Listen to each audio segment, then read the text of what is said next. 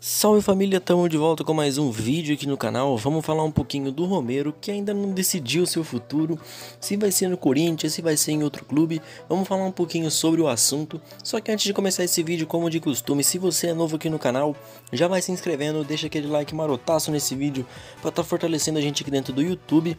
Ative o sininho das notificações para vocês ficarem por dentro de tudo que está rolando aqui no canal. E é isso aí, vamos começar o vídeo, vamos falar um pouquinho do Romero, porque segundo a mídia, o Romero está em contagem regressiva para deixar o Corinthians.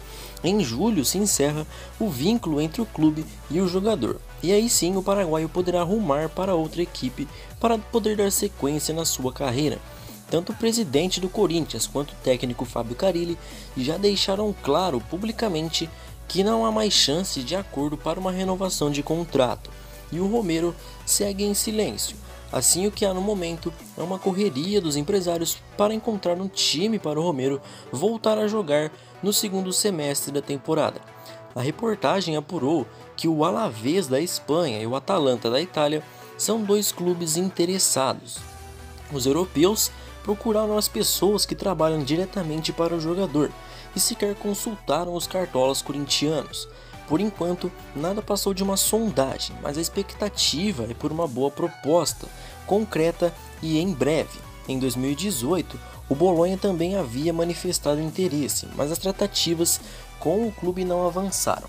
No Corinthians, o Romero sempre recebeu em dólar e o seu salário está na casa dos 415 mil reais por mês, já convertido para a moeda brasileira. Enquanto nada se resolve, o foco do atacante está todo voltado para a Copa América. O Romero contratou até uma equipe de profissionais para atingir o melhor de sua forma física, no intuito de convencer aí a comissão técnica de seu país de que pode ser útil mesmo sem jogar desde dezembro do ano passado. O Corinthians contratou o Romero em 2014, sem, sem desembolsar um centavo. À época, o clube se comprometeu a ressarcir aí o empresário Beto Rapa ao fim do vínculo do atleta. Caso o jogador não fosse vendido, exatamente como se apresenta o atual cenário.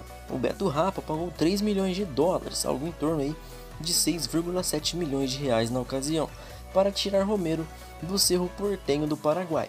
Com o valor corrigido como previu o contrato, o Corinthians deve pouco mais de 11 milhões de reais ao empresário. Então o Romero ainda tá naquela, vou não vou, fico não fico, não decidiu nada ainda. O Romero tá calado, tá em silêncio, não, tá, não quer falar com o Corinthians de renovação, tá esperando um clube é, que chame o seu interesse aí para poder sair do Corinthians, para poder seguir a sua carreira. Como todo mundo sabe, o Romero tá dando uma esperada aí, tá dando uma enrolada no Corinthians.